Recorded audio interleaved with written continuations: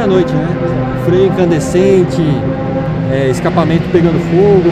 Só à noite que dá pra ver, é muito é legal. É verdade.